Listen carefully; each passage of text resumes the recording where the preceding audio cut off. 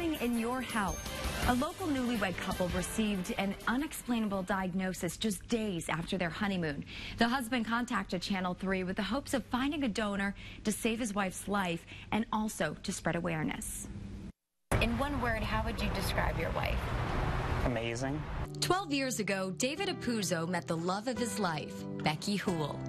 Last May, he popped the question to her, and the two were married on May 24th, 2015. The wedding was perfect. Everything was, I mean, you couldn't script it any better.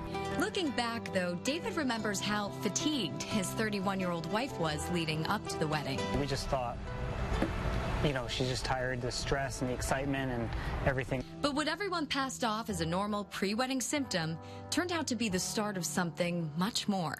About halfway into their nine day Hawaiian honeymoon, Becky started to notice the whites of her eyes were turning yellow. I finally spoke up. I said, What's going on? And, you know, she told me she was doing a little bit of research on her own and it might be her liver. After returning home to Connecticut, David took Becky right to the doctors.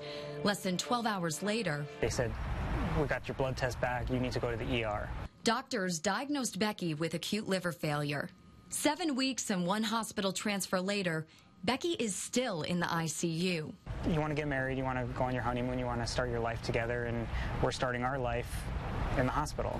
Yale New Haven Hospital's Dr. David Mulligan has closely been monitoring Becky's condition. Something happened to Becky that she was exposed to that we don't really know. It caused her liver to develop um, a disease that continues to fail.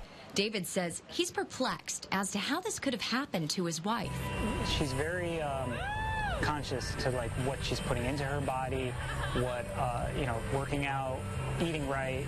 Doesn't drink, doesn't smoke, doesn't do drugs. Suddenly, for better or for worse, began to take on a whole new meaning for this newlywed couple. You see how well she's doing and how she feels, but the the insides are telling a different story. Mm-hmm. And that's what's scary about it. There's a lot of factors that just aren't recovering. And if this is the course she's going to be going down, we need to make sure that we get the transplant before it gets too late. Right now, there are over 122,000 people on the waiting list for solid organ transplants in the U.S.